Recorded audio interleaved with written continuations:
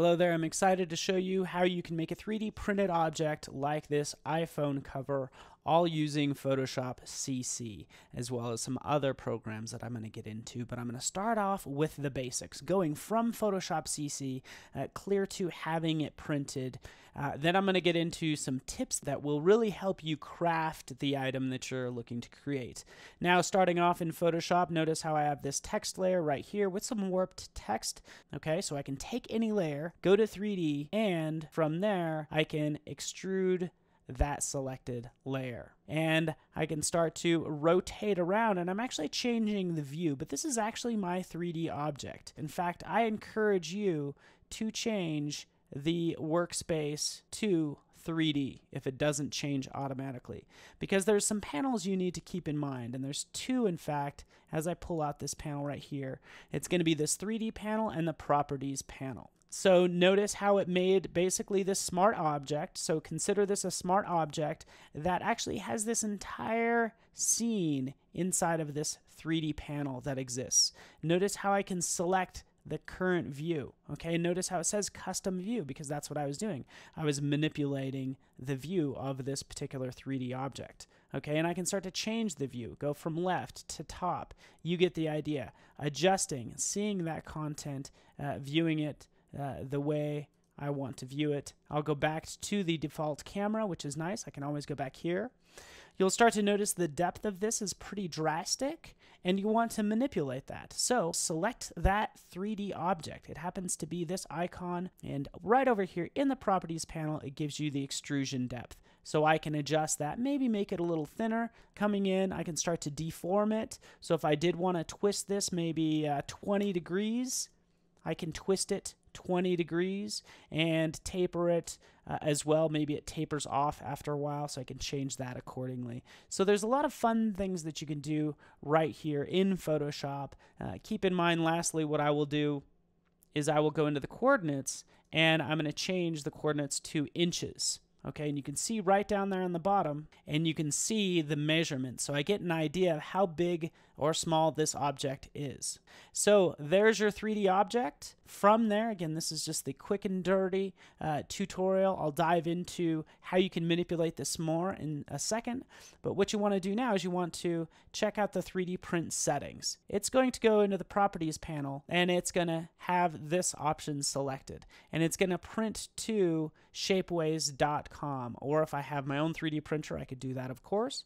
Chances are you'll do shapeways.com. You get to select the type of print material which is great. So you have all this material. You're probably wondering what it looks like. Well, I encourage you to go to shapeways.com and take a look. Under make and sell, here's some of the objects that I've been working on, but if I take a look at the material portfolio, this is where you can get an idea of the different material available. Everything from plastic to metals to ceramics to precious metals.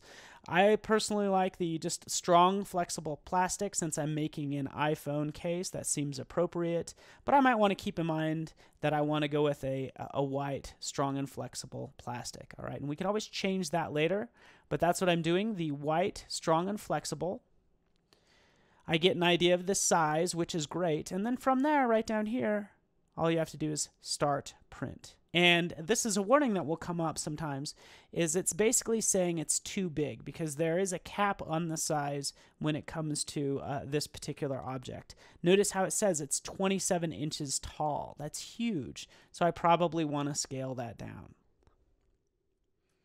Let's make this two inches by one inch. And what I'll do next is start print. It will go through and uh, basically take any of that structure and combine it. If elements are too thin, it will ask you to add any sort of scaffolding. And you can see that it is going to give me actually an estimated purchase price. So again, right in here, the white, strong, flexible, about $5 to create this item you see right here what I want to do now is I want to go ahead and export out this particular item and upload to Shapeways. So exporting this as create now. And then it says you need to go to shapeways.com to complete this. So I'll select yes. Here I am where I can select my file, upload it.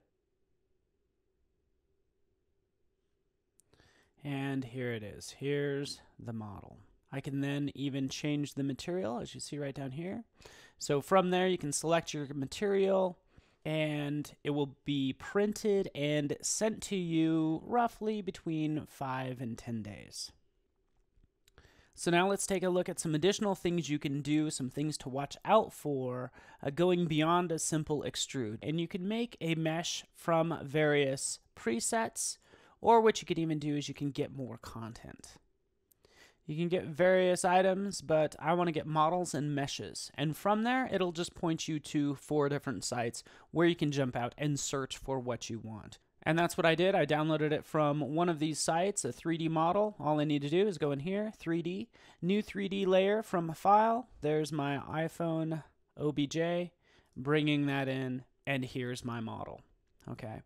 So I can do different uh, different manipulations to this item, but I can only do so much. Like I can't punch a hole in it. I can't add a ton to it or, or really manipulate this. It would take a 3D program to do that, which is why I would use a 3D program such as Strata Design 3D. It gives you the ability to create what you want in 3D. Uh, again, I can add in, say, a rounded cube if I want to, but basically take, combine items, manipulate items much easier than you can in Photoshop because this is a 3D program. Now, I've tried SketchUp and Blender and some of the free apps, but honestly, those are for very specific markets, and you get what you pay for seeing as it's free. This here is $70, allows me to do what I want. In this case, all I need to do is really just take this object and knock it out of the iPhone. So all I need to do is position that so it does punch a hole through right over here. Notice how I can use the subtract tool, select one from the other, and then you're good to go. Another tip is to use Illustrator. Okay, so you can use Illustrator to create uh, complex objects, which is what I did for the iPhone. And then in Photoshop, I can paste that in as a shape layer, and at this point, for that shape, make it a 3D extrusion from that selected layer. Now, you do need to potentially combine elements. Go down to Group All Objects in Scene. Now, obviously, I would have wanted to line this up and everything accordingly, but nonetheless, that's what I did for my final version this object is ready using a 3D program as well as Illustrator to create this particular object. So from there, it's the same process of going into 3D printing, uh, picking my material, and really hitting the print button to send to Shapeways. And what you end up with is this custom iPhone cover that cost me about $25, totally custom. So go ahead and give this a try in Photoshop CC and make sure you have the latest update.